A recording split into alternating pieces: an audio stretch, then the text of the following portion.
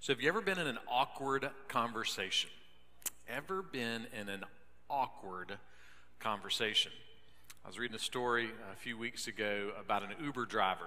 He had a customer in the car and they were driving into a new bridge work area. And the Uber driver was looking at it, it was super confusing. And he goes, Man, I wonder who the genius was that designed all of this mess. The guy said, Well, today's your lucky day. My name's Mike. I work for the engineering department in the county, and I'm the genius who designed this bridge. He was the guy. We've all had those moments, right, where we're in an awkward conversation. Well, today we're going to try to go across a bridge, and it's going to be a bridge that might sound confusing at first. And the reason why is because we're going to try to go across the bridge of suffering a little bit today. And we're going to try to look at what it means to, to cross the bridge of suffering. But why would that be confusing? Well, confusing in this sense, we're going to try to look at the bridge of suffering in the concepts of the greatness and the goodness of God. And how is that confusing? Well, think of it if we use a few questions here. Um, if, if God is good, then why are there tragedies? If, if God is, is powerful, then why am I going through this difficulty and this hardship? If God is, is so good, then why does trouble come in the first place? You hear some of the confusion there. It's, it's the notion of if God is good and if God is great, then why is there suffering? Why am I suffering?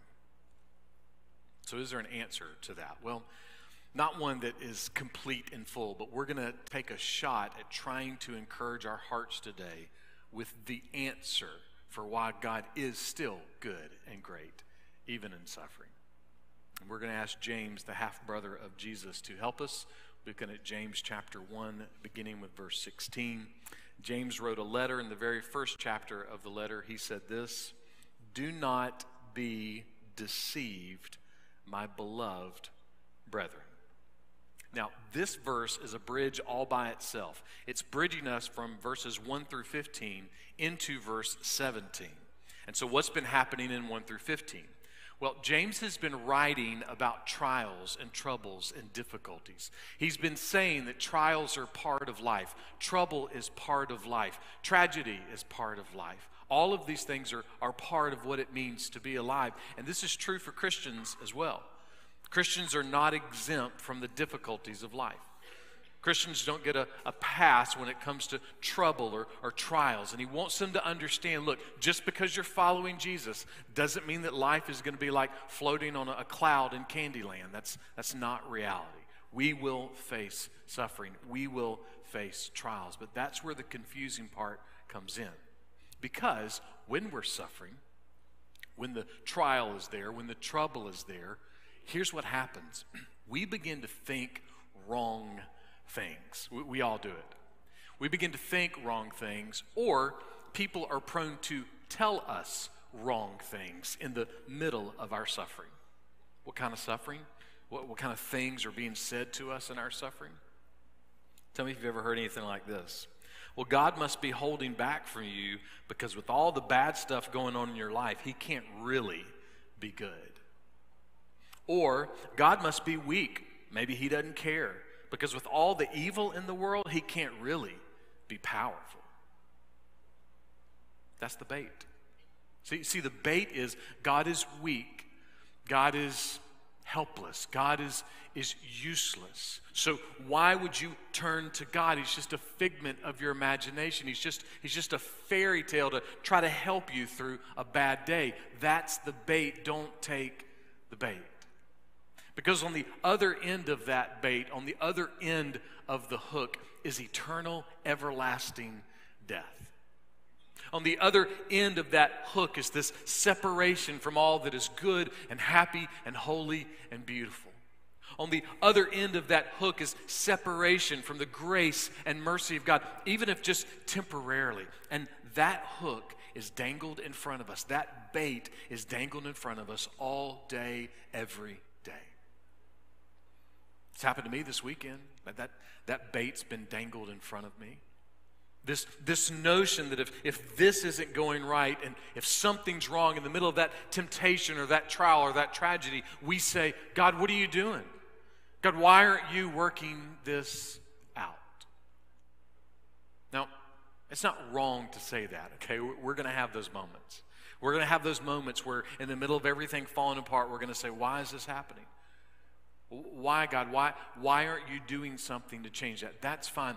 Just don't be deceived by the question. The question is fine. Turning to God is fine, but, but don't be deceived by the question because the question might lead you to say, well, what I'm questioning is true instead of God being true. What James is doing is he's telling the church, don't be deceived. Don't be deceived into thinking that because you're a Christian, you're not going to have tough things happen to you in life or that they shouldn't happen to you. He says, don't be deceived. Don't check out in times of trouble. Don't, don't check out and, and hang up your salvation in the middle of everything going wrong. He says, don't be deceived. Your sin, it's, it's your fault, it's not someone else's fault. Because that's what happens in trouble, right? We, we even ignore our own sin in the midst of it. James says, Don't be deceived. You, you can't blame your sin on other people, and you can't blame it on God. You can't say that, that your temptation or your sin or anything in the moment is, is God's fault because temptation and sin has an everlasting restraining order. It cannot get near God. Do not be deceived. Do not be deceived. And he also says this don't be deceived thinking that the enemy wants to kick, scare, or discourage you. He wants to steal, kill, and destroy you. James very nicely is trying to give us a great soundbite. Don't be deceived. And now, what he's doing is he's trying to make a bridge from sin and troubles and trials and tribulation, temptation, all of this. He's trying to make a bridge to hope. And, and what's the hope? Listen to what he says in verse 17. Every good thing given and every perfect gift is from above. He says, Don't be deceived. God is good. No matter how many times you think He's not, God is good. He is good and His love endures forever. He's the giver of all good things, He's the gift, and He's the giver. It's, it's his nature, it's his character. He creates the gifts and he gives the gifts. But let me ask you a question Can we take a really good gift from God and mess it up? Yeah. I mean, I've had three Reese's cups this morning, you know? I mean, my body's a pretty good gift, but I probably didn't need three Reese's cups. All right, let me just confess. I just had three Reese's cups. Like, that's what I was doing, getting some water and some Reese's. I need some chocolate, some sugar, and some water. So, you know, we have this good thing called our body, but we don't always do the right thing with it, right? So, there are gifts that God gives us, and we mess up what's happening in the middle of that gift. And that's just a helpful reminder. Because what we're tempted to do when things start falling apart, when we end up in the dark, when we have trouble or trials, what we're tempted to do is to turn against God. To say, God, why is this happening? We, we tend to blame God when the trials come. And I think it's very interesting that James is writing about trials and troubles and tragedies and temptation and difficulties. In the middle of all that, he uses the word good and perfect. Th- those two words don't, don't seem to match here. But what he's saying is this God gives us the necessary good. God gives us the necessary perfect for life for our happiness. He gives us what's necessary for our happiness. Now, if you're like me, that math doesn't make a whole lot of sense, right? You're like, well, hang on a second. Trials don't make me happy. Troubles don't make me happy. Difficulty doesn't make me happy. I think God's using the wrong happiness calculator when it comes to me. Job was an extremely wealthy man. He lived maybe about 2,400 years before Jesus was born. Job lost 20,000 head of cattle, his livestock, to lightning and to thieves. He lost almost every single one of his employees to lightning or to murderers. and he lost all 10 of his children to a violent storm. And the way the history records this in the Bible, it seems that all this happened to him in one day. So, how did he respond? How did he respond to, to something that's really beyond our ability to comprehend? 20,000 livestock, all of his employees, all 10 of his children. Well, in the middle of his trial, in the middle of his pain, he turned to his wife and said this Shall we indeed accept good from God and not accept adversity? Now, look, this is strange to our natural way of thinking, right? That, that doesn't sound how you would respond to, to trials and difficulties, but it's a reminder. Sometimes the trial is the good and perfect gift from above. We don't like that, okay? It's fine. Let's just confess it. We don't like it. Some of you right now are saying, I don't believe in God if that's true. It is. It's, just our sinful nature. We fight against God. But sometimes the trial is the good and perfect gift from above. See, our way of thinking says this hey, I won the lottery. Man, what a good and perfect and fantastic thing to happen to me. But we all know that the story goes on far too often that the person that wins the lottery doesn't end up in financial paradise, right? Everything falls apart. So our natural way of thinking was hey, you win all this money, that's a good thing, but often it's not a good thing. And in a similar way, we wouldn't think of being nailed to a cross, crucified, executed on a cross would be a good and perfect gift. That, that doesn't sound like a good and perfect gift. However, there was a thief that because he was nailed to a cross next to the Savior of the world, right now he is in paradise. See, our, our natural way of thinking is to look at the trials and the troubles as always bad and evil and awful. And yet, sometimes God is in the very midst of that moment, in the very midst of the most overwhelming time in our life. Job experienced some devastating things, but he didn't lose his faith. When he was probably most overwhelmed, he, he turned to his wife and he said, Honey, we take the good, we take the bad, we take them both, and there we have the facts of life, the, the facts of life. No, that's not what he said. This is what he said. He said, Sweetie, we're going to take the good and we're going to take the bad. And I'm guessing he had to repeat it, maybe for his own heart. We're, we're going to take the good and we're going to take the bad. Why? Why would he say that? Because he knew God. He, he didn't know things about God. He, he didn't have a, a Christmas story and an Easter story about God. He didn't just know some stories about Noah and, and Moses or, or maybe some other random. He knew God. He knew that God was holy, holy, holy.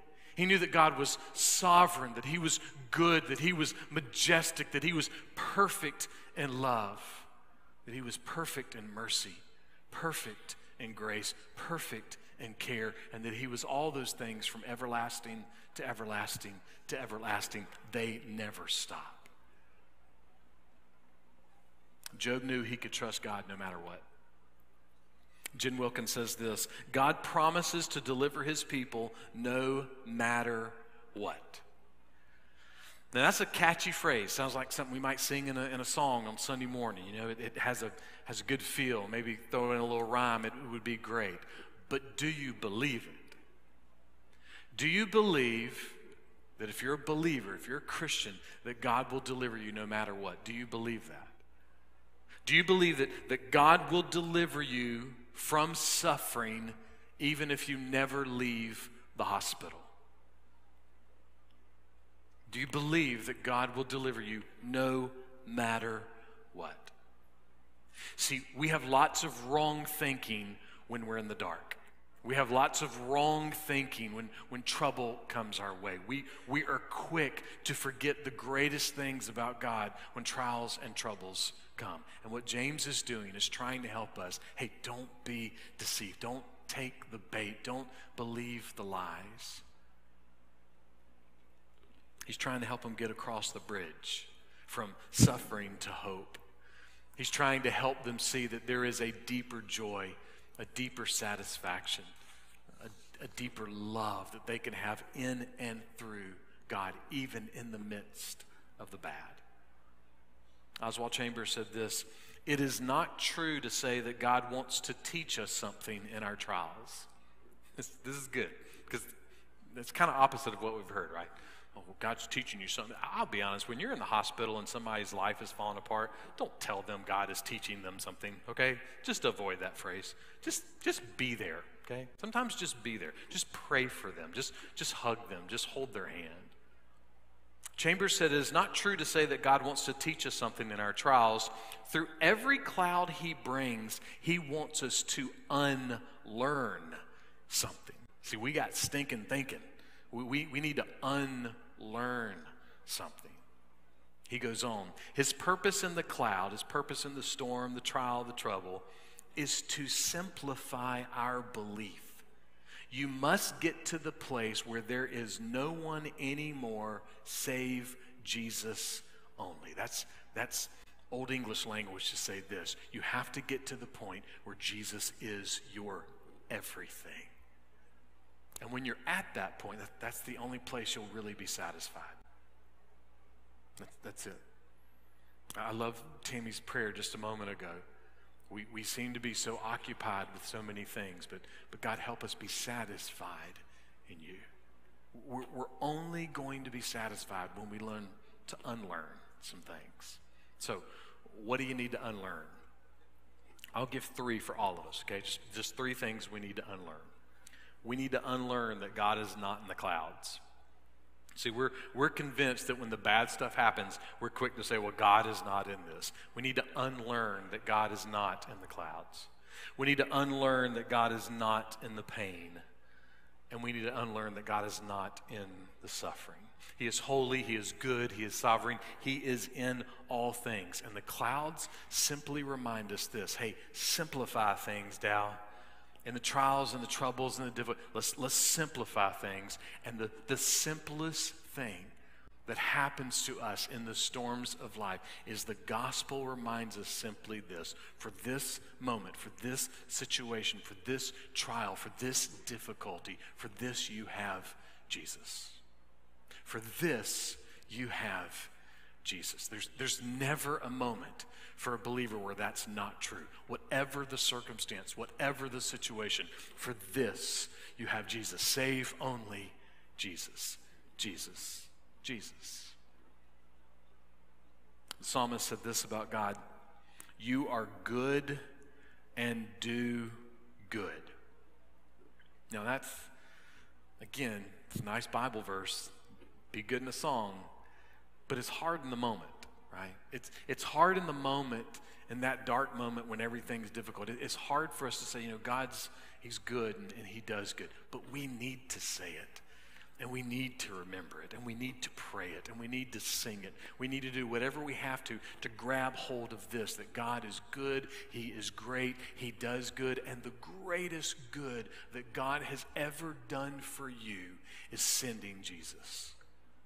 The greatest good that God has ever done is giving Jesus to the world.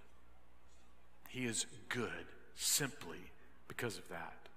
You see, God has promised that He will deliver His people no matter what, and He's promised to do it through Jesus. That, that, that's the plan. Nothing can change that. If you're a believer, if you're a follower of Jesus, you will be delivered by God, and it will be through Jesus. That doesn't mean you'll be delivered from every individual storm in life, but you will be delivered completely when the storm of death arrives. It's the promise, it can't be changed.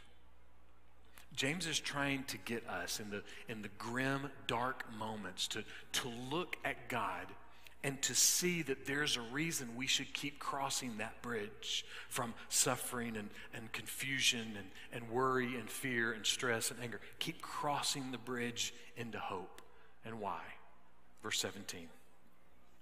these good and perfect gifts coming down from the Father of lights, with whom there is no variation or shifting shadow. The Father of lights, the Creator of lights. This is who God is, the one true Creator God. Dr. Chandra Wickramasinghe is a mathematician, an astronomer, an astrobiologist. I think it was about 30 years ago that he made this comment about the universe. To believe that a mindless accident made all this is simply incredulous. The odds against life having evolved by blind chance are about the same as the odds against a whirlwind blowing through a scrapyard and assembling a perfect Boeing 747. Just doesn't make sense. There's no way we can look at creation and go, yeah, I think this just happened.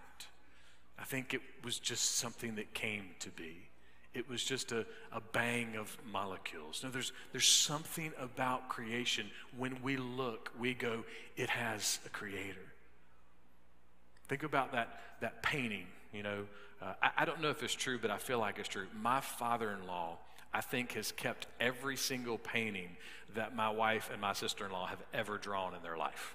Uh, I, th- I, think he's got all of them, you know. And why? Because he, he loved every moment of them creating. It's not hard for us to believe. We believe it with every other thing in life. We see something that is created, we go, yep, it's got a creator. But for some reason, the world looks at the majesty of creation and says, yeah, I think it just happened. It didn't. There is a creator of lights. But it's interesting that's not the angle that, that James is really approaching here. It's, it's not looking at the creative attribute of God by calling him the Father of lights. What he's saying is this is that God never shifts. God never moves. He's, he's not like a, like a shadow that changes. And most specifically, he doesn't shift and change when it comes to the way that he gives good gifts.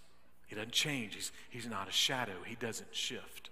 Now, if you don't know this, you are a shifty person, and so am I. You know, we shift, right? I mean, we might be all happy and laughing and hugging and handshaking one minute, and we might be a jerk or a jerkette the next minute. You know, it, it happens. Think about Jesus, the crowd. Oh, Hosanna, Jesus! We are so happy and so blessed to have you. So good that you're here. Great. Three days later, the crowd what? Shouted, Crucify him. See, we're fickle. You know, we, we shift from time to time. Our, our opinions change in a million different ways. God's not like that. He doesn't change. He's always the same. He's always good, and He always does good. A.W. Pink said this God cannot change for the better because He's already perfect. And being perfect, he can't change for the worse. Altogether unaffected by anything outside himself, improvement or deterioration is impossible. How about that, right? Improvement or deterioration is impossible. you know why I'm dizzy in the songs? I'm getting old, you know? I'm deteriorating, you know? There's all kind of ways I'm not improving. And guess what? So are you. It's, it's who we are, it's, it's part of being human. Those things never happen to God. He never fades, He never fails, He never gets dizzy, He never needs a Reese's Pieces. I don't know, maybe He does, but, but, it, but God doesn't need anything. He's, he's good. Why? Pink says this God is perpetually the same. He only can say, I am that I am. He's it. None of us get to say that. I am that I am doesn't shift. He doesn't move. He doesn't change. He's always the same. His goodness is perfect in the triumph and the tragedy. His goodness is perfect in the, the horrible and the happy. He can't change. He is good, and He does good. What do we know about the sun and the stars? The light from the sun and the stars always shine even when we can't see it. The clouds may be up there, but the sun and the stars, they're, they're still shining. The love of God, the mercy of God, the grace of God, it never stops shining. He, he's the Father of lights in the sense that His light never stops. No matter what darkness we're in, the light never stops. There is no shadow of turning with God. There is no shifting of power with God. And that's good news. Because you know, we live in a world that's constantly changing and shifting, right? We live in a world where, where everything can be different an hour from now. You know, a world where, where your family can be safe and, and healthy and happy today, or tomorrow your life can be devastated by fire or by storm. But we live in a world where, where we can feel great today and tomorrow be in the ICU.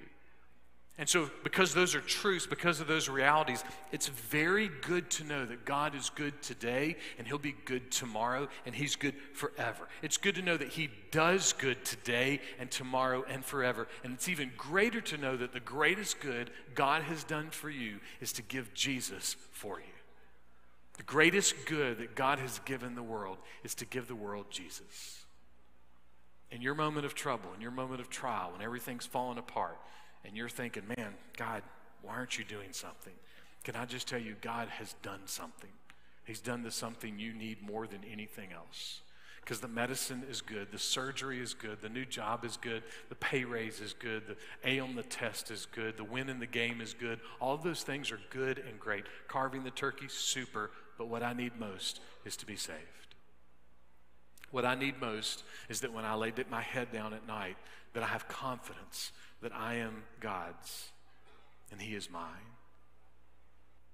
God has done the greatest good He could possibly do in your life in every moment by giving Jesus to the world. Simple question Are you a Christian? Have you truly turned from sin and turned to Jesus? Are you trusting in Jesus as your ultimate gift for everlasting life? If so, then there is this one thing that can keep your heart in the darkness. This, this one thing that can keep your heart and your mind and your soul steady when everything feels like it is shaking and about to fall apart. And what is that one thing? Hebrews chapter 13, verse 8 puts it this way. Jesus Christ is the same yesterday and today and forever. If that's true, and it is, then, dear Christian, here is the one great hope of your life you are never alone. Never. It's not possible for you to be alone. You'll feel alone. You, will feel alone. And some of you know that moment, right? You know that moment after, after someone you love died, you felt alone. You know that moment after that frustrating thing happening with your spouse or your kids or something at where you, you feel alone. We all know the concept of feeling alone. But if you're in Christ and Jesus is the same yesterday and today forever, you cannot be alone, and that matters. So, what does that look like in real life? Well, Maria was adopted from China. A few days after her birthday, she was running out into the driveway to greet her teenage brother, Will, uh, who was driving home from something at school. Will never saw Maria. She was pronounced dead at the hospital later that day. Her earthly adopted father was a famous, popular Christian singer named Steven Curtis Chapman. Months, maybe even a year or so later, he wrote some songs about their pain and what they experienced in losing Maria. By the way, she was only five years old when she died. And one of the songs he wrote, I'm, I'm going to read to you. And I'm going to read you the whole song just because it, it has some good stories that I think connect with all of us and, and all of us in some of the moments of life. But he wrote a song about the bridge because that's what happened. So initially, they were in the bridge on the other side of suffering and pain and hurt. But in the gospel, in Christ, they were able to, to cross the bridge. They didn't take the bait in their pain, they didn't take the bait in their hurt. They weren't deceived. They knew the truth, they clung to the truth, and they made it across the bridge. This is what he wrote When you think you've hit the bottom, and the bottom gives way, and you fall into a darkness that no words can explain, and you don't know how you will make it out alive, Jesus will meet you there. When the doctor says, I'm sorry, we don't know what else to do, and you're looking at your family wondering how they'll make it through, whatever road this life takes you down, Jesus will meet you there.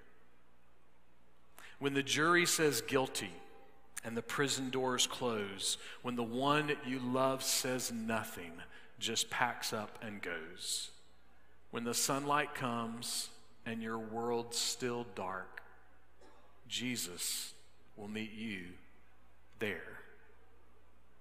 When you failed again and all your second chances have been used, and the heavy weight of guilt and shame is crushing down on you, and all you have is one last cry for help, Jesus will meet you there.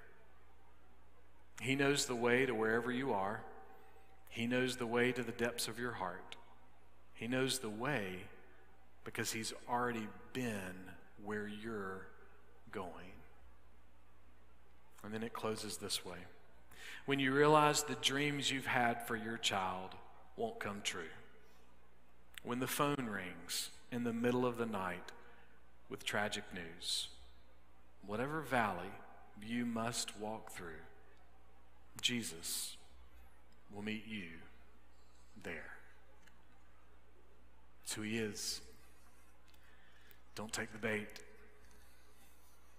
Don't take the bait. God is not a shifting shadow. And the greatest good He's ever done for you can't be changed, and that is giving Jesus to you. Have you received Him? Have you taken hold of his salvation. Listen, whatever you're facing this Thanksgiving holiday, Jesus will meet you there.